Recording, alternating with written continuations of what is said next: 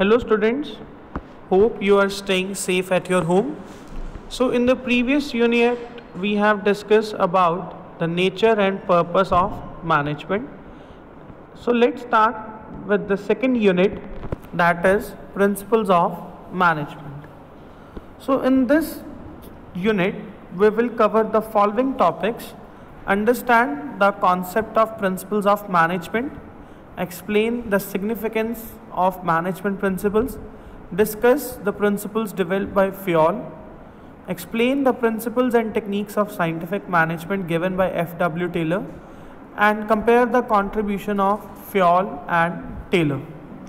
So, what is management principles? According to Koontz and O'Donnell, management principles are fundamental truth of journal validity which have values in predicting the results of management action.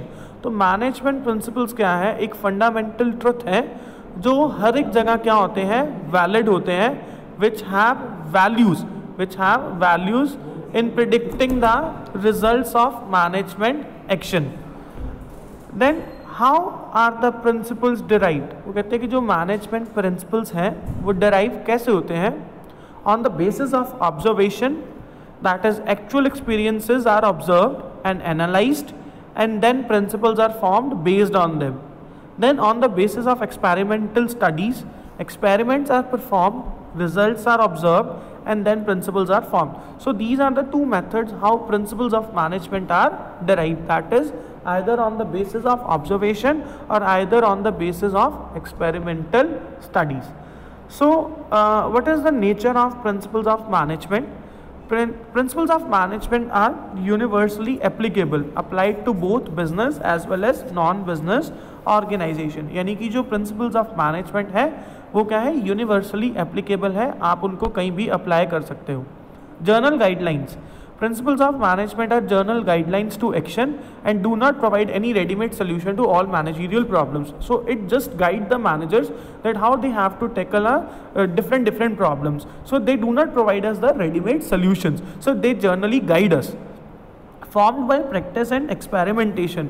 जो management principles हैं they are not made forth nightly ये रातों रात नहीं बनते हैं.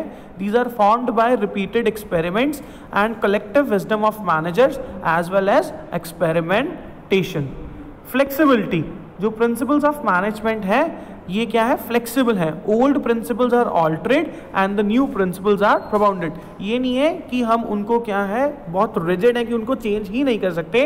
Management principles can be flexible it can be change with the changes taking place in the organisation और it can be change with the changing human behaviour mainly behaviour they are affected by human behaviour because principles of management are to be applied on human beings so they are mainly behavioral in nature because they are affected by human behavior next relation between cause and effect like देखो बेटा आपको ये picture में दिखाया गया है we have plant a uh, we have plant a small, uh, we can say that a sapling. We have plant a small sapling, it converts into a big tree. The effect is tree. We have planted a small plant and it results into the uh, we can say a big tree. So it is a relation between cause and effect.